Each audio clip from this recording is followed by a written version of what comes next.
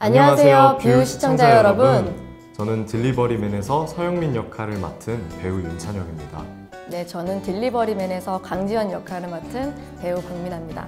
이 드라마를 통해서 어디서도 본 적도 들은 적도 없는 인간과 귀신 간의 케미를 느껴보실 수 있습니다. Viu 오리지널 딜리버리맨 첫 방이 앞으로 5일 남았습니다. 뷰, 뷰 최고예요. 최고예요.